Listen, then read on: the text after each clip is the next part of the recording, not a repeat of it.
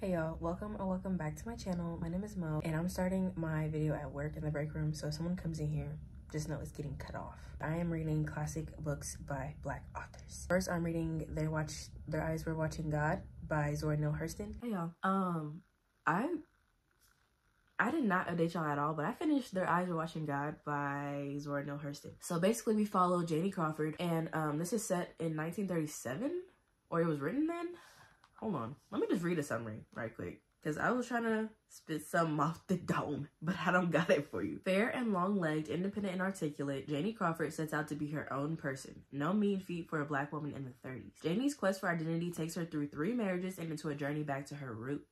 I find it interesting that we're still talking about like similar hot topics today in a book set in the 30s. We're still having these conversations about colorism, the role of the black woman, the role of women in the house. I did like the metaphors that Hurston uses, the way she writes phonetically, and just the overall flow of her writing was really nice. Some examples of how she wrote, I wrote down. So Janie had experienced abuse by the hand of one of her husbands, and during this it says, Janie stood where he left her for unmeasured time and thought. She stood there until something fell off the shelf inside her. Then she went inside there to see what it was. It was the image of blank, tumbled down and shattered. But yeah, she went inside herself and the image of how she saw this man crumbled down.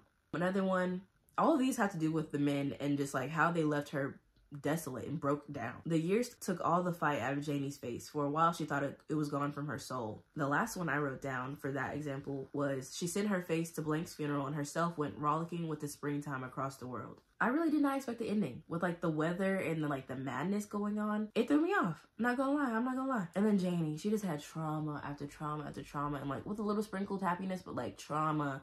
There were just so many times that I went to like wrap my hands around the men's throats because they had the whole game up. Like, how do you have a bad like Janie and you trying to keep her hair tied up? You're trying to keep her away from from the general public. You're trying to keep her in the house, barefoot in the kitchen. You bagged the bad. Like, what do you? What did you expect? A takeaway that I already knew about this book is never trust a man. At least not his words, trust his actions. Um, Kia tells us all the time, you put your trust in a stupid hoe. How you figure? And Janie got taught this lesson several times. Like, it sound good. Yeah, it sound good. And then as soon as she would marry these people, oh, they got you. Oh, they got you. And it's sad. I did love seeing Janie's complete growth over her different relationships. She found her voice and just her own self-love. Okay, I thought this was a romance book. Nothing about this was romantic to me. Even her last husband, like that was like the love of her life, but he wasn't for real. To me, this was more of a self-love journey than it was a romance. And I was expecting a little romance. I'm not gonna lie. Um, yeah. And then I did write, Ruby Dee did an amazing job narrating this book. There was like certain AAVE used throughout the whole book. I think it was set in the South. Like some of it was in Florida, but I feel like it was somewhere else too. But like it was very lazy drawl and like southern speaking where I would have got stuck on some words and going slow. The narrator really like I was encaptured in the whole experience. Like I was I was with them. Some of my highlights was obviously Hurston's writing. I really loved like is this poetic? It was very descriptive sometimes. I really liked the writing. I really liked when like the town people were just trying to get the tea. like just like them playing check checkers or chess or whatever on the porch and like throwing back there's a drink called Coon. I was like, I want to Google that, but I also don't. So I didn't. But I'm like, grr. But the liquor was liquor and child. Yeah, that's really all. I was gonna get into details about like each man, but like, read the book. Just read the book. Um, I'm gonna give y'all my rating and then I'm gonna start the street, my Ann Petry Characters I gave six because the men weren't right? Atmosphere, eight. It was like painful a lot at times. It was also beautiful. It was sorrowful. Like it was, it was sad. Writing style, 10. Give her her tens. Plot eight, intrigue nine, logic seven, enjoyment seven. So that came out to be 7.86 and that was 4.25 stars. I feel like I should have gave it five stars just off the strength of it alone, just off of the name Zora Neale Hurston, but I had to be realistic. 4.25 is not a bad rating, okay? I'm really glad that I read it yeah, first classic down. I'll see y'all in the next clip. Bye.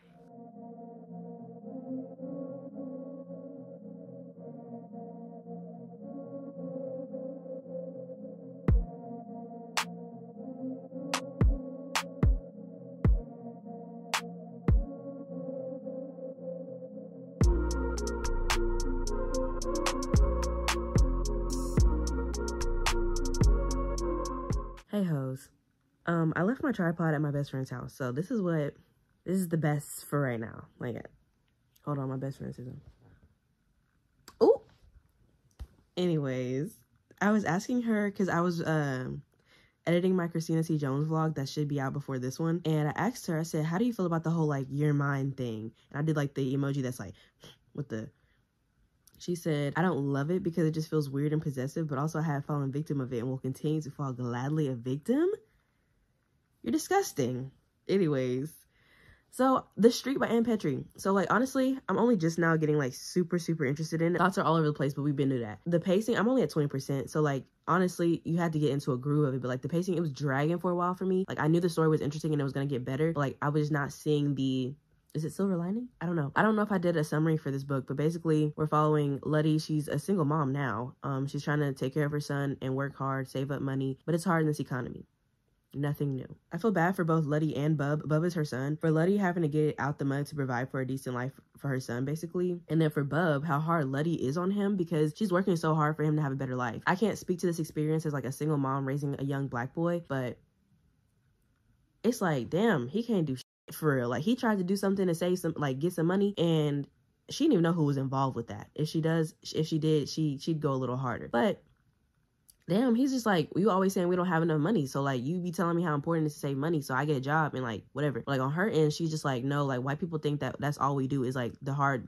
dirty work. That my son is not gonna be doing that. Like if you're gonna start at eight cleaning shoes, you're gonna be doing that when you're 80. So all that. I don't know. I see where she's coming from, but like he's eight. And like she's put him in a better situation than what he was in previously because I guess he was staying with um Letty's dad and his little girlfriend. And Lil was like trying to get him to drink and like smoke or whatever. And like honestly, she's just trying to keep her boy out of trouble. Another note that I put, I really don't want to wrap around to like a, a SA scene with the super or the landlord because it's kind of given that the first impression that she had of him, he just seemed like really sleazy and grimy, like really dirty. Like I would like to wash my hands of him. I'm very scared. I'm very scared of what he will do to her. I just read a scene and I'm gonna tell y'all about it. This is supposed to be spoiler free, but I'm gonna tell y'all about it. And also you just really see Letty just struggling to raise a child without any kind of community. Damn, it's something every every chance that I feel like I've figured something out, like, oh, okay, I got the apartment, but the apartment is like what else am I supposed to do? Every time something comes up, like what the I need advice. It, it is really sad when people don't have like a community or a village to to lean on and depend on. Also, after she smacked the little boy up, she sent him off to the movies and said she hoped he knew it was a peace offering for having lost her temper and slapped him out there in the street. Why do they berate and discipline a child in a certain way and then in a way that is not okay? A lot of a lot of discipline is through violence, and I don't think people realize that they should not do that or they just don't care. Obviously, you can be mad and be like, I'm doing this because, you know, you shouldn't have did this. To be like literally beating your child because you're just so angry without explaining. This is an eight-year-old black boy. Without explaining, like, why are you knocking him upside the head? Again, I'm not a parent though, so I can't, I can't. For her to be like, oh, I hope this is, you know, but never said sorry. And like so many people, like literally that happens so much. Like literally a parent will do something and then they'll just be like, you hungry? Am I hungry? You just beat my ass. You just gave me something to cry about. Am I hungry? Yeah, I'm hungry. Okay, so I'm reading it. It got into the super's point of view on chapter four, which like, I don't want to hear from him. Ew. But he started like bonding with the boy, Bub. There's a period of time between whenever he comes back from school and when his mom come back from work. So he be in the street playing with the other kids. Like she really don't like none of that. She, but she's like, where can he go? Somewhere safe and free. He's playing with gutter dogs she's just like, this is not a safe environment, blah, blah. So he gets close with the super and she's like, damn, like, how do I tell him, like, I don't want him to have anything to do with him? Like, the super is like in the boy's ear, like, oh, your mom's so pretty, blah, blah. So we get in the super's point of view and he's just like, basically, he needed to something real bad. The pressure done built up.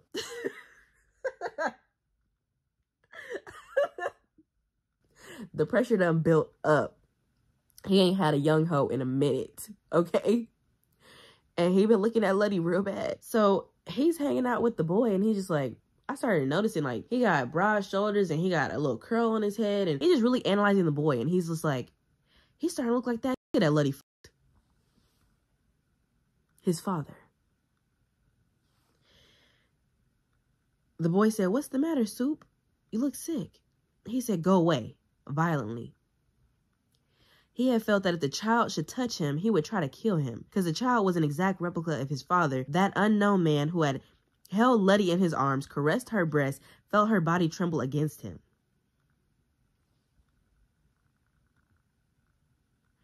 You're weird. Getting this heated at a child about you never even seen? I would like to be removed from his point of view expeditiously. And then we've got Mrs. Hurd or Hedges. I forgot the lady's name, but the like I think she's like I think she's like the head prostitute or like the manager of I don't really know. But she's the one that'd be scoping out the scene and she was like, Hey, when Letty went out for the night or whatever, she was like, just letting you know, I, I know a nice white gentleman. And Letty grew up where like her grandma and everybody was just like, you know, do not with a white man. She like had jobs before where white women are like, you know, black women, they they so easy. Like they they will fall at the knees, like they will fall at, at the feet of a white man. Like they they are so promiscuous and scandalous and blah blah. And she's like, little do they know, I don't I don't with y'all. I never want to touch a white man ever. This is the 1930s. Like literally her grandma was born in slavery. So she's just like, yeah, um, white men don't have a good rap. So she's like, all that. So I'm just like, I really hope that if she does bust it wide open for anybody, because we do support sex workers in this household, if she does bust that cat open, can it not be the super? Like, honestly, I'd rather her just fuck a white man. I'm sorry. I'm sorry. Like, if he's actually a nice gentleman, which and that's the crazy thing too. You be seeing people online be like, "Oh my gosh, she's such a hoe. She do OnlyFans. She do all this." But it's like, who do you think is paying for the OnlyFans? That was just, I yeah. I'm only on 20%, y'all, and I'm getting scared. Hey, y'all. I am on my way to work, and I want to update y'all on the book because I. So I found out, I've been trying to figure out where I can get the audiobook because I've been reading this book for like a week, I feel like. And it's really good, but I just like cannot give my time to it and my attention just reading it off the ebook alone. Like I wish I had the physical book or something, like something tangible that I could like hold on to, like a voice. Um, which is not tangible, but y'all, y'all. Okay, okay, not y'all, y'all. Anyway, I'm in a good mood. I'm not cussing. So I found out that the book was on, on Spotify. My best friend has Spotify Premium. So shout out to Nicole. She making this happen. She making it shake for me. Um, I'm using hers and I got to chapter 10 in the book, which is like basically a little bit over 50%. And I started that today. I was on 30 at the beginning of the day. So I'm like, I'm vibing. I've been reading for like an hour and a half, two hours before I have to get ready for work. I have notes on my phone, but obviously I'm, rec I'm recording on my phone. I'm not to say obviously. I don't know if y'all know that I record on my phone. I have my notes, but just like the overall like aura of the book is just so sad and like dreary like every chapter is just like you know this the struggles of people that are impoverished. The book has not taken the turn that i thought it was going to take. Just in these last couple chapters she like met this guy named Boots Smith he's also kind of slimy and grimy. Like he's trying to like sugar like sugar sweeten up his voice and make it seem like he's just like oh baby like you have a nice voice. I just want you to be in my band or whatever because he heard her sing at this bar. And um he's like you should join my band. And she could actually sing apparently. Like she she puts so much like raw emotions into her voice. Like she could sing. It switches between people's point of views. Like we've been in the super's head we've been in Min's head which is like the lady that stays with him. By the way the audiobook her name is Lutie. I've been calling her Letty but it's like Lutie like cutie. And that's how it's spelled. I wish I had like a phone doc. Yeah whatever. I'm just telling you something real quick. It don't even matter for him in his head he's like oh like these young hoes like all them all you gotta say is like you got a little emotion and like they they they ready to fall. Like she's like talking about marriage. Like she's trying to in her head, she's like, oh, I'm gonna use him for what he's got. Like, I need to get out the streets. Like, I need to provide a better life for my son and me. Like, I'm not worried about all that. Like, I'm just gonna do whatever I can to like get out of his face and like not offend him, so he don't like get like rejected and get angry like some men do. So she's saying all that. In his head, he's just like, oh, like all you gotta do is like show you got a little emotion, whatever, and like you don't even have to like marry for like she gonna she gonna rip off a little piece of this little cat for me, basically. And I'm just like, ugh, like why? How, how does she keep getting involved with these grimy men. Like, obviously, she can't choose who her landlord is, but like, the street that she live on, I guess is the best of the worst. And then Min, she went to like this root work doctor or whatever, which it was like, that came out of nowhere. I feel like this, it took the book somewhere I didn't expect it to go.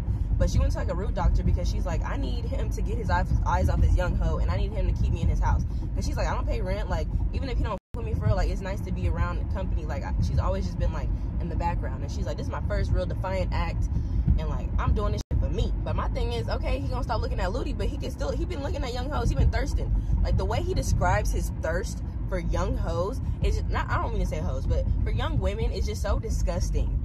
Like I'm like, these are real people. Like this is really how some men think. This is how people really think in the real world. Like I'm just disgusted. Like you think you just living your life, doing your errands, minding your goddamn business, and this man thirsting over you like like a dog that ain't never seen a bone. God damn. I feel like I'm yelling now, but I'm gonna go. I'm, I'm enjoying myself. I'm liking it. Hey y'all. So all I wanted to do was basically just recap The Street by Ann Petry because I did finish it the other day and I didn't finish my thoughts. Um, I actually started my last book of the video too, so we're gonna get into all that jazz. Oh, there's just so much to talk about. I kind of wish I didn't do this spoiler free so I can really get into the nitty gritty of it all, like the specifics of the scenes and stuff like that. But for a second, I was kind of standing Mrs. Hedges, but then I went from like not understanding to kind of standing her a little bit and then really disliking her. She was just not a girl's girl at the end of the day. As much as she probably thought she was or whatever, I don't think she even cared. I don't think she had a lot of morality about anything. She was just all about getting her money. And her story with like the the her image is it was sad to read and like just like her self-esteem. I don't really know why that was like a really big part in the the book. I mean, the book like a lot of the themes are racism, classism, sexism, misogyny, um, literally every man, every everything wrong with her life. I feel like had to do with man. So, uh, Lutie's by the way, not Mrs. Hedges. I did love that Ludy did stuck stick with her morals because I wasn't I was expecting in certain situations for her too, and then I was gonna say, well, I wrote this note before I finished the book that she didn't let her circumstances, she didn't let her circumstances completely drown her. Um, maybe the ending whooped my ass. It's like as we kept getting progressively towards the end, I was like, for sure that's not gonna happen. There's gonna be a miracle. There's gonna be something different about this. This is not clicking the way it's supposed to click. And the thing is, I would like a different ending, but like the way it ended was how the story was intended to, and it made sense for what the author was trying to do. I kind of wish there was a sequel. Like I want to know what's going on in these people's lives. Like I'm invested. I'm invested. Um, there's a character that died. I won't tell you how, but I don't feel bad justice. All of y'all are grimy, stinky, disgusting. You should die. I really hate that there are just so many systems put in place to keep groups of people down. People of color, um, let's be honest. Um, disadvantaged people, people with disabilities. There's just like so many things put in place to keep people down. And like I already know that, but like the more you read stuff and like you just look into things and like what your government is funding and all this that's going on globally it's just like this is set in the 30s and the 40s. You would think with all the things that we've come from, we wouldn't be so stuck. And like whenever I read a classic, I just I just keep thinking like there's really nothing new under the sun. People do not learn from their mistakes. And yeah, I think that's really all I have to say. It was great. I liked reading it. I would read it again. I would recommend to you to read it. Characters 10, which is crazy because I hate everybody, but like the the hatred that I felt like like the way my heart was racing during certain scenes and the way like I just got like actually like physically upset. She and Petry had to get her tens. I'm sorry. I'm not sorry, but she had to get them. Atmosphere 10, writing 10, plot 9, intrigue 9, logic 9, enjoyment 9. And really enjoyment I was kind of like, what do I put there? Because like a lot of things I didn't enjoy. It was very sad. Honestly, I don't know anything that I did enjoy. Like I, I like the, okay, this is not coming off right. It was really written, written well, written. It was very well written, but like, it was just so sad. And that's all I got. It was just so sad. Um, but that ended up being like nine and three sevens or something like that. And I don't, I didn't know how to do that. So I just was like, okay, once it's over nine, that's five stars. So that was five stars, five stars. And now I'm reading If Beale Street Could Talk by James Baldwin. I said that so hard, Beale Street. That one I have on audio and ebook from my library, so I've been listening to that. And I'm on 25%. Let me tell you about the book. Well, I'm not gonna read a summary. I'm just gonna say in short, we're following Clementine, aka Tish. I don't know what her middle name is. I don't know why that's her name. At the beginning of the story, she is finding out she's pregnant. And she's telling our family, and she's telling the guy that she was dating named Fonny. And Fonny is 22. She's 19. And I hate that age age gap. I know back in the days things were a little different. I think today people still think it's back in the day times when it comes to dating and ages. But um 19 is barely 18. And um that's barely like you're still a teen. And then 22 I know it's just three years apart, but it's just, you know, everything with that was feel a little icky to me. So I'm trying to, I'm trying to, I'm trying to, you know, not be all in my, you know, whatever. Um, but he is wrongly convicted of a crime. I haven't found out what it was yet, but her family is trying to gather up funds for lawyer fees and stuff like that to help help him out. That's all I know. It's really weird the way it's it's written. I don't know how to explain this point of view. I've noticed that a lot of older books kind of do this. Well, at least the ones that I've written. I mean, I've read this these like the two books that I read. Okay, it seems like point of views jump and like they don't always explicitly say like who's talking. It kind of feels like I'm reading someone that has like a kind of attention deficit disorder. Like no no shade, absolutely no shade.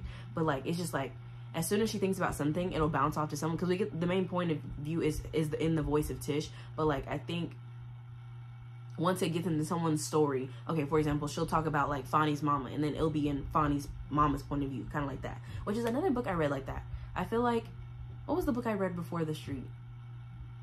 If Their Eyes Watching God, it was kind of like that. If you've read that, I believe. I don't know if they're exactly the same, but it gives off that. Like it's kind of like you do need to pay attention and like it's something i definitely don't like. I like to just read with audiobooks whenever point of views are like that because it's confusing to listen to for me. I have to really just sit there and focus and y'all know i i, I speed up.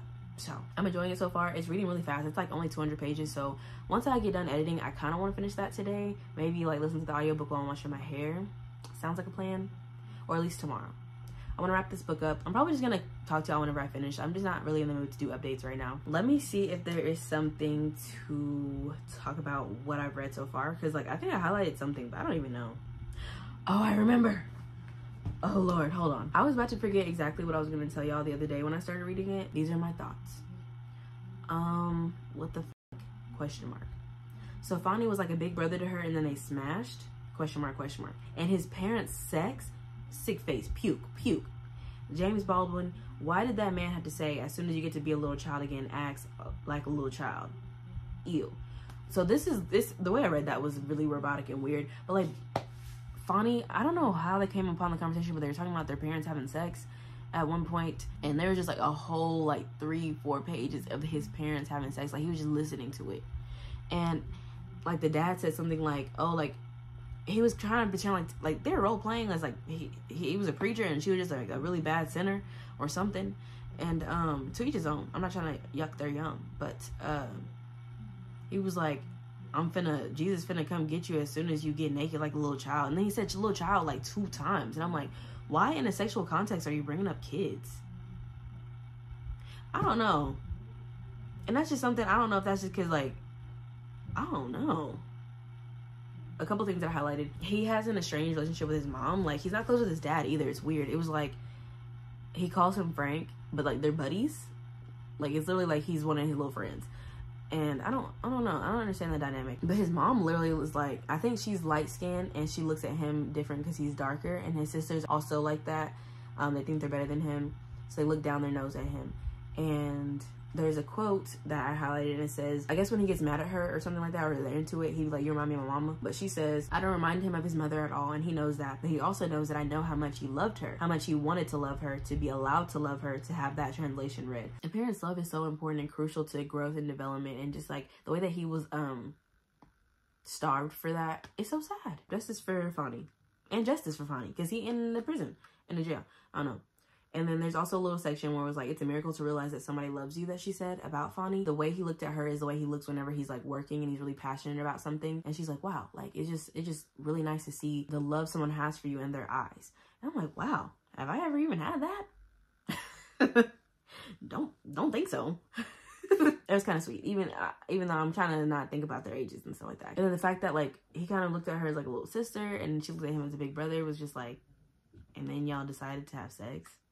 I guess, child. Uh, they're about to tell his people. She told Fonny first that she was pregnant, and then she's about they about to tell his people. That's definitely not gonna go well with the mama and the sisters, but the rest of them are happy. So that's all that matters. That's all I'm gonna probably say to y'all, and then I'm gonna tell y'all my rating later, either tonight or tomorrow. Bye. Hey y'all. Um, I'm wearing hoops in the house with the thing on only because I saw the hoops and I was like, give the girls hoops. So I did finish If Beale Street Could Talk, and that is the last classic that I'll be reading for this video. These are some of my thoughts. I'm just gonna tell you the rating off rip. Um, I was gonna rate it 3.75, but I ended up bumping it up to 4. The more I just started thinking about it and writing my notes about what I wanted to say, the book was just so much like, it was so many layers in just a 200 page book. There were just so many points that you could dissect and expand upon, which I won't be doing today. I, I won't be doing it. um, but it was really interesting. So characters, I gave a seven. Atmosphere six. Writing style, I did give it a seven. It could have been a lot higher. Really, it could have been like an eight or a nine. Plot seven. Intrigue eight. Logic six. Enjoyment five. Which I know what you're saying. How is it four stars and you only enjoyed it a little bit? I don't know how to explain that. I didn't enjoy myself, but like what it accomplished and what it was like intended to do, I, I respect the out of. It did explore systemic racism, such as racial po- profiling and wrongful conviction. That was like the main thing. There are people today that are just wrongly convicted, or even just a little bit of weed, an eighth of weed, are in prison for years. It's just really silly to me what people decide to put their energy towards, especially this week when they was trying to ban TikTok. I'm like, do we want to talk about every single thing that's wrong in the US going on? Not even just the global, but just in the US alone? And y'all are worried about a little kid app? I don't know. I don't know. I don't know. Throughout this book, we're following Tish and Fonny's love and hope, and also his, her family, because he found family in hers where he couldn't really get that from his family. He's really close with his dad, though. And you see how both those things, love and hope, guide them through really uncertain and rough times when they have nothing else they have that to hold on to. There were things that could have been talked about with frank and his wife. I won't be getting into that. Oh my favorite character. And then i'm wrapping that up about the book. I don't have a lot really to tell y'all. That's spoiler free. But i did my favorite character was ernestine. That was tish's older sister. She was just so real and she's still on business for real i think. She don't play by her sister. She don't play about nothing. Like i love that and i really want to see her beat fonny's sister's ass and then lastly on my notes, I wrote, a thing that I hate when reading classics is just further confirming that we're not learning from history. We're still a far ways away.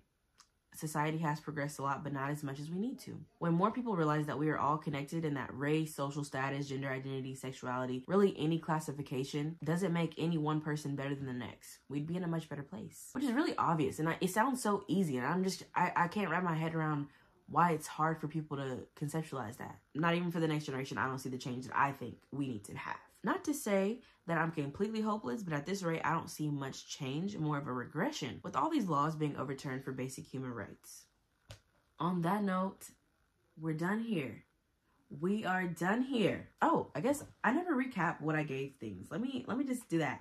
I like when people do that at the end of their videos. Let me see. Okay, y'all. In this video, we read Their Eyes Were Watching God by Zora Neale Hurston. I gave that one 4.25 stars. Then I read The Street by Ann Petry. I gave that one 5 stars. And then lastly, I read James Baldwin's If Beale Street Could Talk. And I gave that one 4 stars. So overall, we had some solid reads. All right, y'all. Thank you so much for watching the video. I hope that you enjoyed. I'll see y'all on the next one. Bye.